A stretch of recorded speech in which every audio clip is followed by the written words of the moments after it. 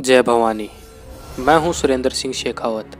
आज के इस वीडियो में हम जानेंगे राजपूतों के प्रमुख छत्तीस राजवंशों अथवा कुलों में से एक प्रमुख वंश, चौहान वंश के बारे में।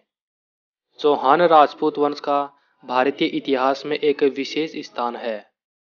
चौहान राजपूतों ने सातवीं सदी से लेकर देश की स्वतंत्रता तक राजस्थान सहित भारत के विभिन्न प्रांतों पर शासन किया। तथा चौहानों ने दिल्ली पर शासन कर सम्राट का पद भी प्राप्त किया।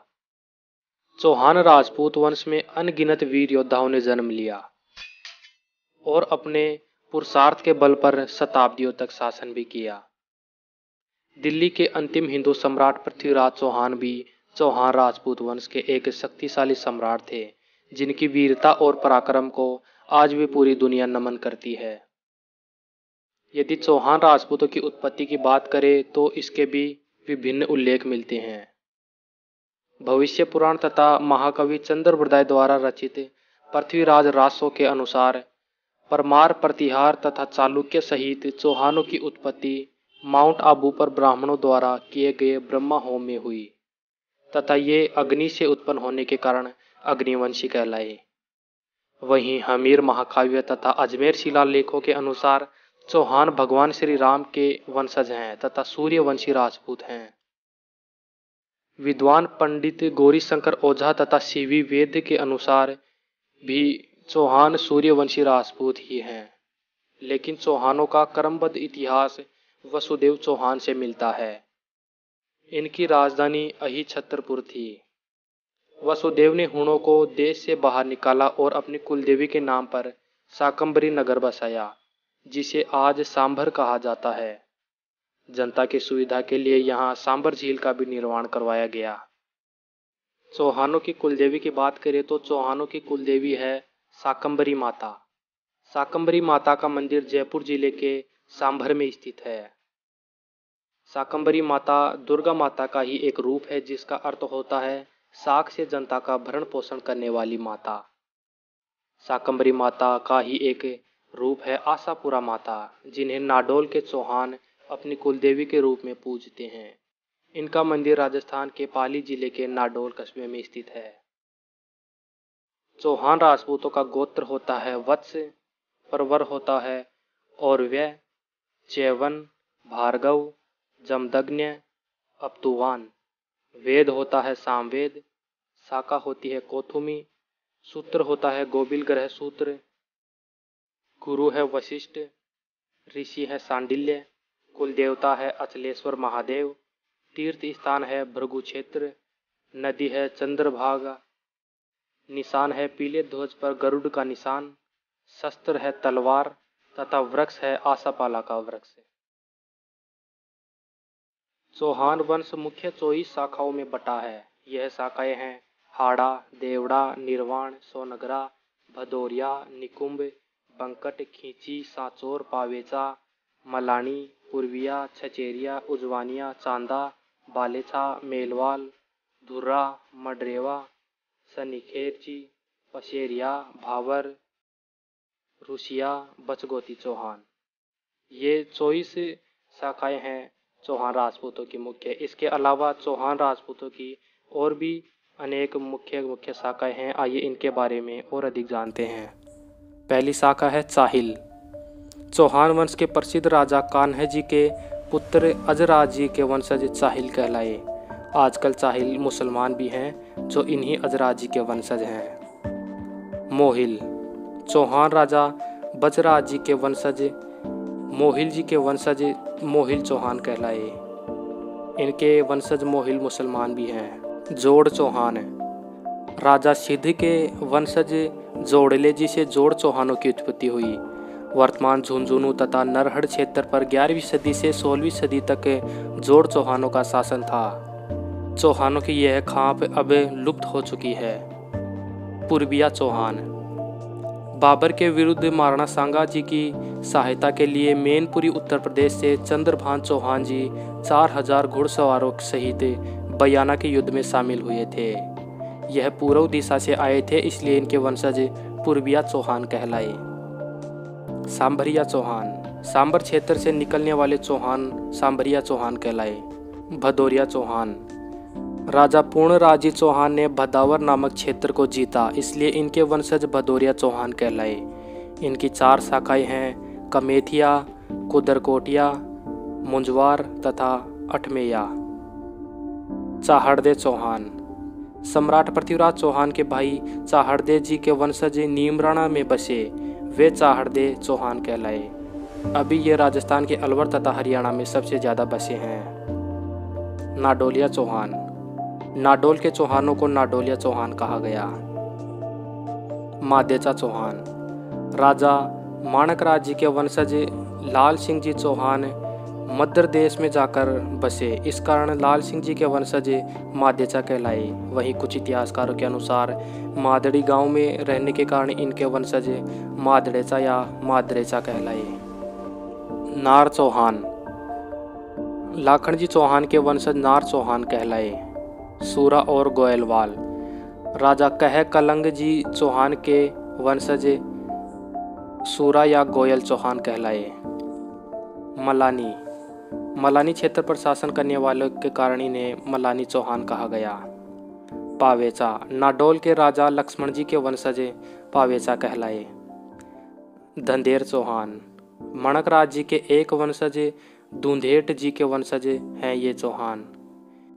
देवड़ा चौहान, नाडोल के राजा लक्ष्मण जी के तीसरे पुत्र अश्वराज या आसल जी के रानी बाछाछल देवी के पुत्र देवीरा के कारण उनके वंशज देवड़ा चौहान कहलाए।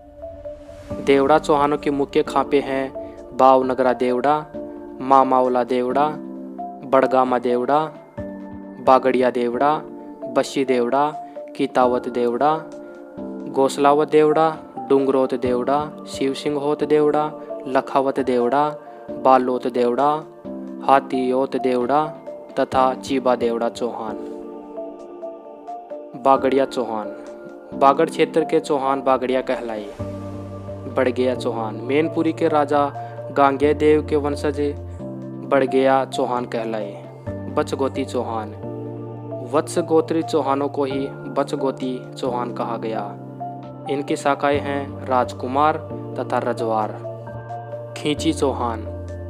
खींची चौहानों की उत्पत्ति के अनेक मत हैं, लेकिन जो सबसे सटीक है, वो है राजा माणक राज जी चौहान ने गंवारियों के यहाँ खिचड़ी खाई थी, इसलिए उनके वंशज खींची कहलाए। निर्वाण चौहान, आसराव जी देवड़ा के पाँचवें पुत्र नरदेव जी देवड़ा के खंडेला के राजकुमार को हराकर उन्होंने वहाँ अपना स्वतंत्र राज्य बनाया। इससे प्रसन्न होकर उनके पिता आसराव जी ने उन्हें निर्वाण की उपाधि दी, इसलिए नरदेव जी के वंशज निर्वाण चौहान कहलाए। निर्वाणों ने इस क्षेत्र पर 500 वर्षों तक शासन किया था। सोनगरा चौहान, जालोर का प्राचीन नाम जाबालीपुर था। इसमें स्वर्णगिरी दुर्ग था, जिसका नाम बदलकर सोनलगढ़ भी किया गया।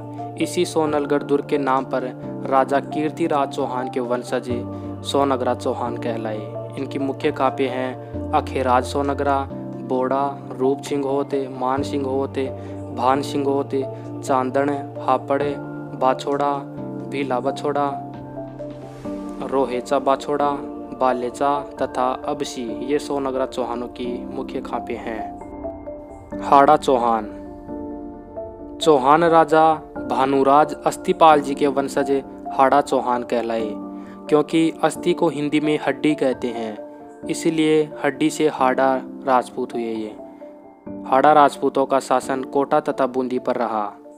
हाड़ा चौहानों की मुख्य खापे हैं, दुग्धलोते मोहणोते हतवते, हलुपोता, लोहराज हरपात पोता जतावते, खिजुरिका नवरंग पोता थारुड़, लालावते, जाबदू, अखावते, चूडावते, अदावते नरबपोता भीमोते, हमीरका मोकलोते, अर्जुनोते, सुरतानोते, हरदाऊते, भेजावते, इंद्रसालेते, बेरिसालोते मोहम सिंह होते माहे सिंह होते दीप सिंह होते बहादुर सिंह होते सरदार सिंह होते तथा माधाणी। ये हाड़ा चौहानों की मुख्य खापे हैं।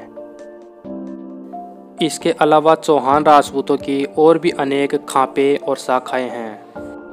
जैसे मुहणोत नेणसी के अनुसार रावसिया, डडरिया, बक्सरिया, सेलात, बेहाल, बोलत, गोलासन, नहखन, बेस, सेप्टा, डिमणिया हुडा महालन तथा बंकट। कर्नल टोड के अनुसार पाविया, सकरेचा, भूरेचा, चाचेरा रोभी चादू निकुंप भांवर तथा बंकट।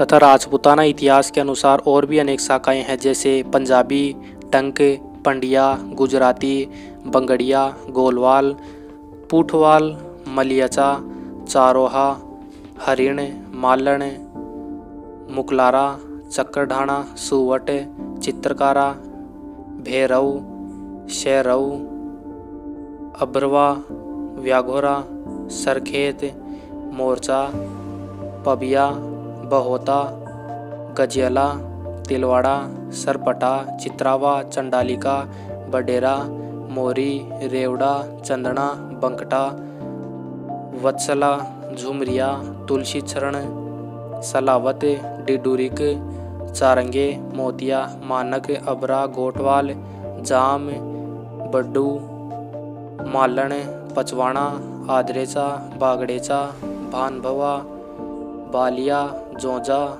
जनवार, संग्रायचा भुरायचा बिलायचा तशीरा, चचेरा, रोसवा, चुंदू, बाकेता, गिरामंडला, खेरा, पूया, बाहू, कमोदरी, कन्नाजी, देवरिया, कोपला, नाहिरिया, कश्मीर, आवेल, बाली, बनाफर, गलख बरहा, चले, सराल, रामचंद्र तथा चित्रंग चौहान।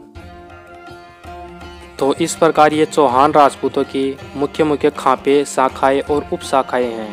यदि बात करें चौहान राजपूतों के ठिकाने और रियासतों की तो हम इससे पहले इन पर वीडियो बना चुके हैं। आप वह वीडियो हमारे चैनल राजपूत मिस्ट्री पर जाकर ज़रूर देखें। साथ में राजपूत मिस्ट्री चैनल को सब्सक्राइब भी ज़रूर कर लें। मैं हूँ सुरेंद्र सिंह शेखावत। जय भवानी, जय राजपूताना।